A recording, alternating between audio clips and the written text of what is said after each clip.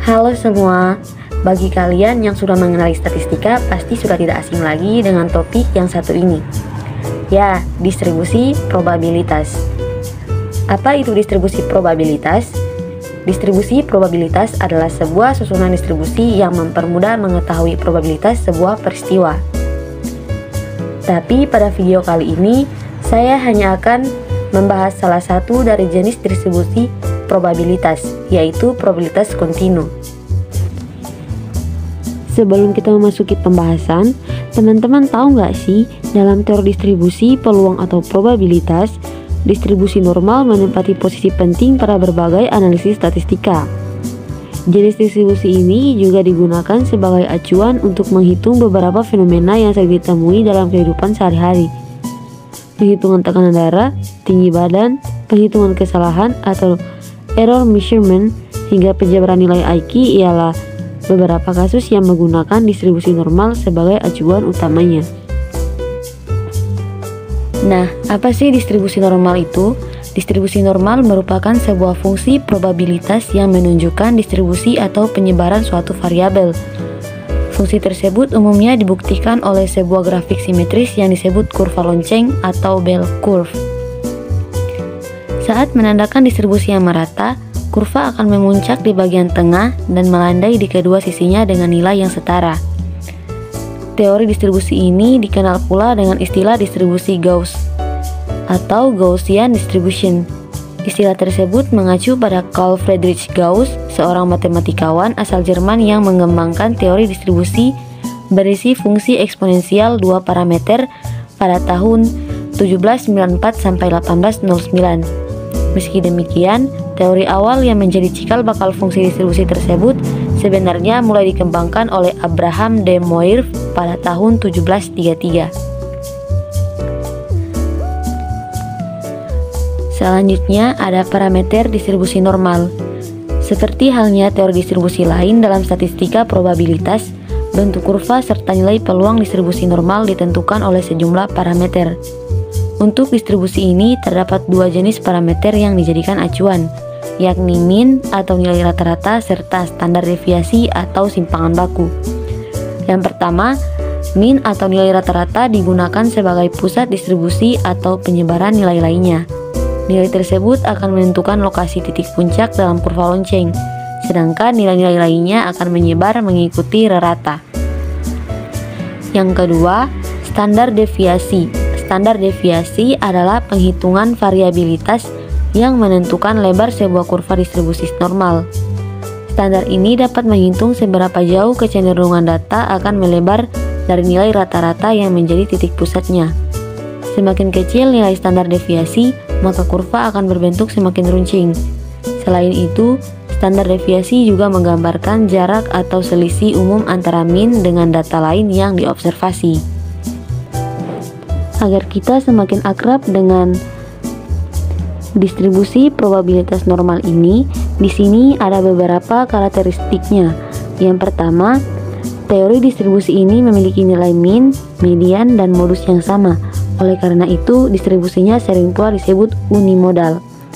Yang kedua, kurva distribusi selalu bersifat simetris dengan bentuk lonceng atau bell curve. Titik puncak kurva adalah nilai rata-rata Nilai ini berada tepat di tengah kurva, sedangkan data distribusi terletak di sekitar garis lurus yang ditarik ke bawah dari titik tengah tersebut. Yang ketiga, min atau nilai rata-rata dan nilai standar deviasi akan menentukan bentuk dan lokasi distribusi. Yang keempat, jumlah luas daerah di bawah kurva normal bernilai 1, yakni seperdua di sisi kiri dan seperdua di sisi kanan. Hal ini juga berlaku untuk seluruh distribusi probabilitas kontinu. Selanjutnya, dalam kurva distribusi dapat disimpulkan jika setengah data populasi akan memiliki nilai yang kurang dari rata-rata, sedangkan sebagian lagi memiliki nilai yang lebih besar. Terakhir, masing-masing ekor kurva di kedua sisi memanjang tak terbatas. Uh, sorry, masing-masing ekor kurva di kedua sisi memanjang tak berbatas. Dalam beberapa kasus penghitungan distribusi, ekor kurva bahkan bisa memotong sumbu horizontal. Perhatikan kurva distribusi normal berikut. Dari gambar ini kita dapat melihat bahwa sumbu X atau horizontal memiliki range atau rentang dari minus tak hingga hingga positif tak hingga. Kurva normal memiliki puncak pada X sama dengan 0.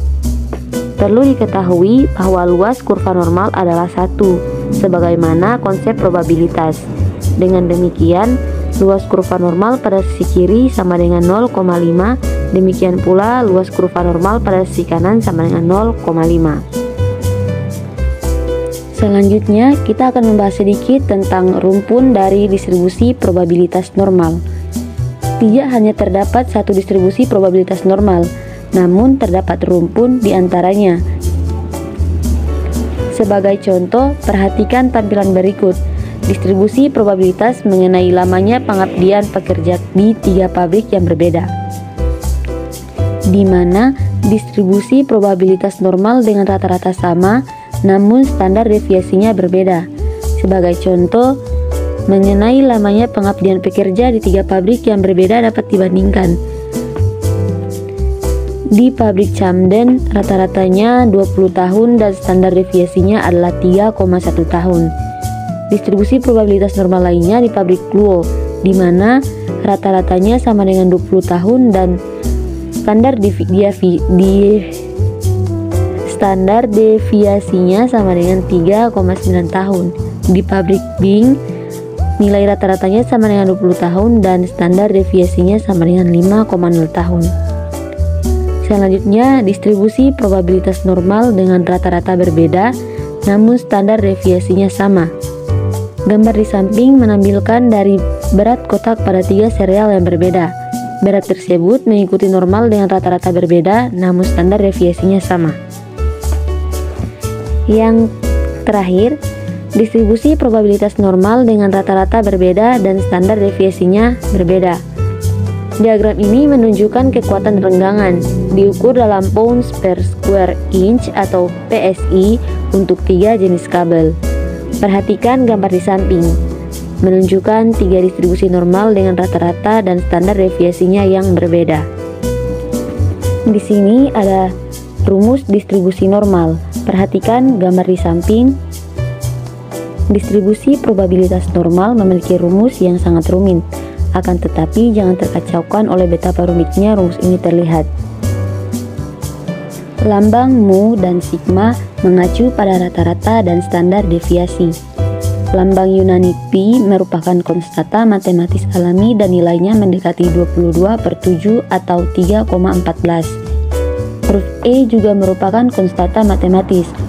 Huruf tersebut merupakan basis sistem log alami dan nilainya sama dengan 2,718. X merupakan nilai dari variabel acak kontinu jadi, distribusi normal berdasarkan pada, yakni ditentukan oleh rata-rata dan standar deviasinya. Anda tidak perlu khawatir melakukan perhitungan dari rumus ini, karena nantinya Anda akan menggunakan tabel Z distribusi normal untuk memudahkan. Bagaimana cara untuk menghitung nilai Z? Nilai Z dapat dihitung dengan rumus berikut. Z sama dengan X kurang nilai rata-rata dibagi standar deviasi. Perhatikan contoh penggunaan berikut ini. Hitung P dalam kurung X 1,24. Bagaimana cara penyelesaiannya? Yang pertama, pada tabel perhatikan pada bagian kolom awal. Misalkan kita akan menentukan nilai untuk 1,24. Maka langkah pertama kita mencari pada baris 1,2. Yang kedua, perhatikan pada baris awal dan carilah nilai 0,04. Yang ketiga, tentukan titik temu sel dari baris dan kolom yang tadi dimaksud.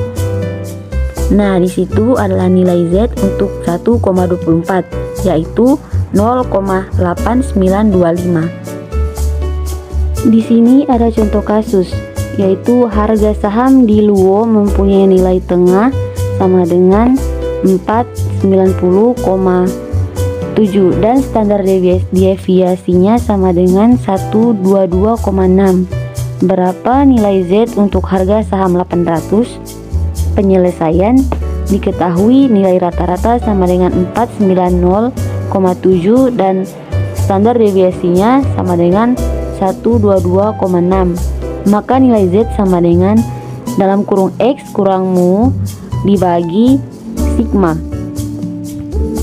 Z sama dengan 800 kurang 490,7 dibagi 122,6 Jadi Z sama dengan 2,5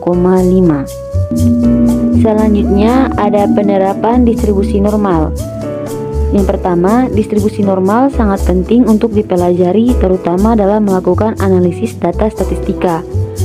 Yang kedua, dengan data yang diambil secara acak dan berdistribusi normal akan memudahkan dalam melakukan analisis dan meramalkan serta mengambil kesimpulan untuk cakupan yang lebih luas. Yang ketiga, distribusi normal banyak diterapkan dalam berbagai penghitungan statistika dan permodelan yang berguna dalam berbagai bidang. Nah, itulah pemaparan singkat dari saya. Nah, berdasarkan materi sebelumnya, di sini kita dapat menarik kesimpulan tentang seberapa penting distribusi normal dalam statistika. Yang pertama, dapat meningkatkan objektivitas penilaian. Hal ini sangat membantu dalam menempatkan anggota-anggota yang paling tepat untuk suatu kelompok tertentu Misalnya ketika mengevaluasi nilai siswa atau mengelompokkan pegawai dalam satu kriteria yang sama. Yang kedua, dapat menghindari terjadinya bias atau penilaian yang condong pada suatu kategori saja. Dengan distribusi yang simetris dan berpusat pada nilai rata-rata seluruh data dalam suatu populasi, penilaian yang berat sebelah atau tidak seimbang akan dapat dihindarkan. Yang ketiga, dapat membantu menentukan tingkat normalitas dan kecenderungan sentral. Dalam statistika, khususnya statistika peluang, normalitas suatu data adalah hal penting yang tidak boleh diabaikan. Melalui teori yang diterapkan oleh distribusi Gauss, kecenderungan sentral atau tingkat normalitas data dapat ditentukan secara lebih mudah. Dalam mempelajari distribusi normal, sering kali kita mendapati pertanyaan mengenai kapan menggunakan distribusi normal dan kapan suatu data dikatakan memiliki distribusi normal dan tidak normal. Nah, kapan menggunakan distribusi normal? Distribusi normal banyak digunakan dalam berbagai bidang statistika. Misalnya, distribusi sampling rata-rata akan mendekati normal meski distribusi populasi yang diambil tidak berdistribusi normal. Lalu, kapan suatu data dikatakan memiliki distribusi normal dan tidak normal? Jika menggunakan uji statistik, misalnya menguji menggunakan uji Kolmogorov-Smirnov, variabel dikatakan berdistribusi normal jika nilai signifikannya lebih dari atau sama dengan 0,05. Sebaliknya, jika signifikasi kurang dari 0,05, maka variabel atau data dinyatakan tidak berdistribusi normal. Sekian dari saya, terima kasih atas waktu luang yang telah Anda sempatkan. Semoga materi ini dapat bermanfaat bagi kita semua. Sampai jumpa lagi di lain kesempatan.